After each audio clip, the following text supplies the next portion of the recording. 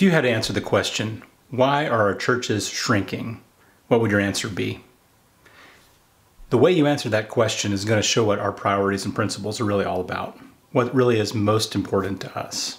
And if this video is helping you in any way, I would love for you to hit thumbs up. Appreciate that. Here we go. You might say, well, we need better programs. Well, that's a very consumeristic way of thinking. Did Jesus think of church growth in the terms of needing better programs? Maybe you think we need better preaching. If only we had a better preacher, then we could finally grow. If only our eldership was better, then we could finally grow. You really don't have to get elder approval for something that Jesus said to do. If only we had a nicer facility, if only we had the space for this or for that, then we could finally grow. It's always about something else, it's always about someone else. There's always a technological edge. If we just live streamed or just upped our online game or whatever, then we could grow. There's always something else. But these things really don't drive growth. They're really distractions from what actually drives growth. There was a post from Fay Haygood on Facebook today where he said, Newsflash, the church does not exist for its members. It exists to bring the gospel to others. Members of the church are supposed to grow up, to take their places in helping make that happen. Thom Rainer estimates that we, quote, only reach one person for Christ each year for every 85 church members in the United States. It's time for all of us to be too busy to complain. Churches don't need to compete for members. A church that seeks to grow because Christians transfer to it from other churches is not building the kingdom of God. There are enough unchurched people in America to fill all of our churches several times. Our competition is Satan, not the church down the block. Let us point our efforts at him. I agree with that 100%. We are not in competition with others. We are not trying to just get better programs than the guy down the street to get their people to come to our place. The thing that actually drives growth is Christians being with non Christians, teaching them the gospel of the kingdom, relational discipleship, and being intentional about inviting people, praying for the lost. Jesus said, The harvest is plentiful, but the workers are few. Pray that the Lord of the harvest would send out workers into the harvest field. Do we even pray that prayer? I mean, that would be a simple place to start because the harvest is actually plentiful. We, I think, have made sometimes an excuse to think that the harvest is is is very least, is very small, is very minuscule, and that's why we don't see much much reaping, much harvest. It's not because we're doing anything we shouldn't be doing or we're lacking anything other than maybe a better program or a better preacher. You know, these are all excuses.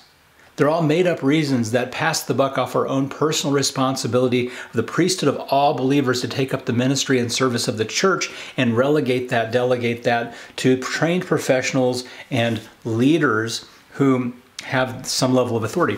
Here's why our churches aren't growing. They're, they're growing because we're not reaching anyone. We're not studying with anyone. But we're still not to the real reason. The real reason is because we don't love the lost. Now, you can pray and pray and pray for God to send workers into the harvest field, and eventually you're going to get the idea that how many times can I pray that prayer before I finally realize that He's talking to me? I'm the one who needs to go into my harvest field and sow and water and see, as, as Paul said in 1 Corinthians, that it, it is God who brings the increase, but we must sow and we must water. How is a church ever going to grow if we don't reach the people who need to be added to the church, to need to be added to the kingdom. See, when we get into the thinking of better programs, what we're really saying is we're trying to win other people from other churches to our church, to our brand, transfer growth.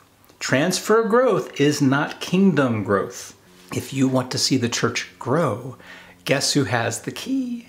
Jesus has the key, the Holy Spirit has the empowerment, but you have to have the willingness to go out and have the conversations, pray the prayers for the harvest, pray over specific people in your life, pray over specific names, and then begin inviting them to church, sure, but into study about the Jesus option, the Jesus way of life, so that they can come to faith in Christ. The preacher cannot do all of this for everyone. We've already burdened the preacher with enough that the preacher is not going to spend 20 hours a week in personal evangelism because of the system we've created. So you must go about the work that you are absolutely not seeing other people do. You're going to have to take the lead, be a leader. And the only way that that's going to happen is if you love the lost more than you love the way you've always done things and thought about things. Because when you make that change and make that turn, things are going to get messy.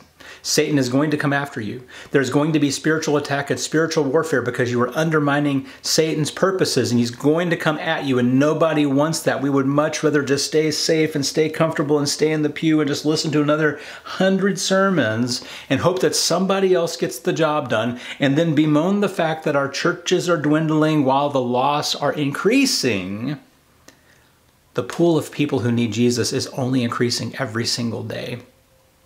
Do we have the will? Do we have the desire? Do we have the want to to go out and reach them? And it's only going to come through an increasing love for them.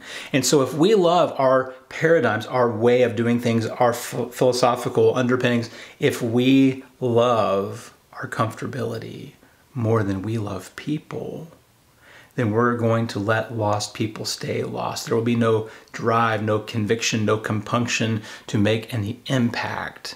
And we will continue to try to tweak things to bring about a little more transfer growth to keep making that budget so that we can keep the lights on and keep paying that preacher who we've made this commitment to. Better be able to make the budget. And so as the numbers go down, the giving per member increases in order to make that budget. But we're missing the whole point we're not here to make budgets. We're here to reach the lost. We're here to make disciples of the nations. It starts with you. It starts with me. We got to get out. We got to meet people. We got to encounter them where they are.